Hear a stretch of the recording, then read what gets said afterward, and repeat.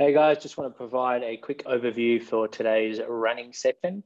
So we start with a six minute warm up, with a simple two minute jog. You can break that up however you like 30 seconds on, 15 seconds off, or 50 seconds on, 10 seconds off, however you, whatever feels best for your body on that day. And then about four minutes of mobility of your own choice. So whether you do some hamstring work, lower back, upper back, spine mobility, uh, groin mobility. So listen to your body and, and attend to where needs um, on a needs basis.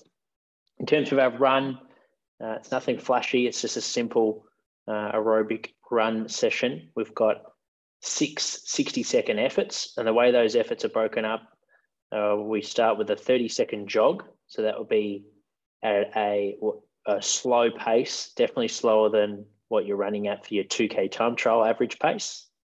So easy pace. If you're doing with a mate, you should be able to hold a conversation while moving at that pace. So 30 seconds, easy running, easy jog. Then we move up a little bit of speed. So 15 seconds at a run pace. So for this, it'll be either at what a 2K time trial pace feels like or above it, depending on how you feel on the day. So listen to your body and something that you should be able to consistently hit for all six efforts. Uh, but we're definitely not sprinting or we're not moving at repeat speed pace. Okay, so it is a slower day today.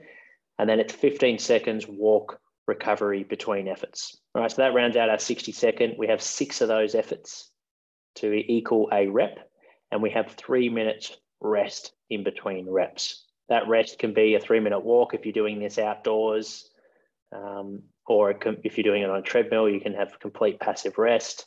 So it's up to you how you want to use those three minutes, but we're definitely not um, exerting ourselves. Make sure you're getting adequate, adequate recovery so the next repetition is at similar uh, quality as the first. All right. So it's all about consistency on this day. It's a good opportunity to focus on your cadence. So we want short, quick steps, making sure that you're not running, you know, doing long strides or heel striking. You're running uh, on your midfoot uh, and you're feeling relaxed with good rhythm with your running, connected to your breath, both when you're working, but also focus on your breath in your recovery periods. If you've got a heart rate strap, look at your heart rate and um, focus on breathing, doing long side breaths to lower that heart rate in the three minute period.